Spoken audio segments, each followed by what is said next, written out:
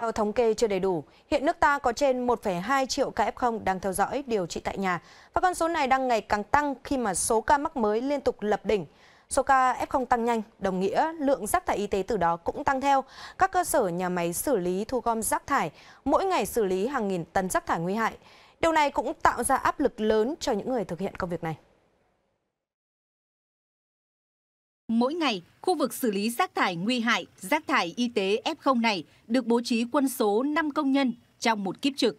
Một ngày chia làm 3 ca để xử lý kịp thời các loại rác thải y tế từ khu vực điều trị và khu vực cách ly y tế.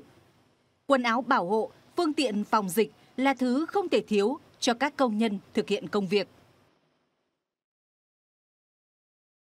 Trong cái thời kỳ ờ, dịch Covid-19 này thì nói tất cả anh em mình làm thì nói chung cũng có về, về vấn đề về tâm lý. Thì bây giờ nó dịch bệnh này thì anh em cũng ấy ảnh hưởng. Có người F0 có người F1 thì cho nên là đâm thay phiên nhau làm. Người tân cũng có tâm lý là cũng lo lắng. Bởi vì trong thời gian dịch này thì ai cũng thế thôi. Nhưng mà môi, môi trường làm việc của bọn em như thế rồi thì bọn em cũng phải cố gắng để hoàn thành nhiệm vụ. Gia đình các thứ cũng động viên. Trước áp lực F0 đang gia tăng, lượng rác thải cũng theo đó mà nhân lên. Mỗi ngày, nhà máy này xử lý khoảng 20 tấn rác thải y tế từ 18 xã thị trấn. 100% quân số phải làm việc ngày đêm, nhiều công nhân phải tăng ca nhằm xử lý triệt để rác thải y tế phát sinh hàng ngày. Khó khăn nhất của chúng tôi ấy, là trước đây thì chủ yếu thu gom ở các cái khu uh, điều trị tập trung và thu cách ly. Thì hiện nay là cái lượng F0 điều trị tại nhà thì cái việc thu gom là giải rác rất nhiều. Chúng tôi đã kết hợp cùng với chính quyền địa phương tuyên truyền vận động nhân dân là cái việc thu gom và phân loại rác ngay từ nguồn để làm sao tránh lây nhiễm ở trong cộng đồng dân cư.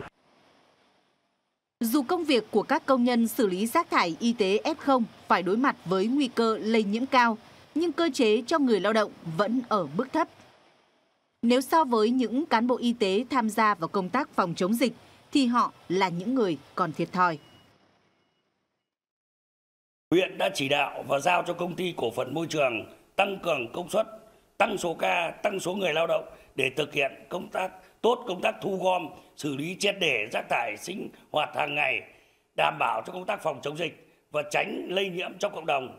Yêu cầu các doanh nghiệp có cơ chế đặc thù khuyến khích, khen thưởng kịp thời để người lao động tiếp tục yêu nghề, yên tâm tại các khu cách ly thực hiện nghiêm việc tập kết chất thải, rác thải. Xử lý rác thải y tế F0 là một công việc đặc thù bởi đây là loại rác thải nguy hại có nguy cơ lây nhiễm dịch bệnh COVID-19 trong cộng đồng rất cao. Do vậy, việc quan tâm đến các chính sách đãi ngộ, cơ chế hỗ trợ việc làm trong môi trường độc hại cho người lao động là việc làm cần thiết. Bên cạnh đó cũng cần có sự chung tay, ý thức của cộng đồng trong việc phân loại để sớm đẩy lùi dịch bệnh COVID-19.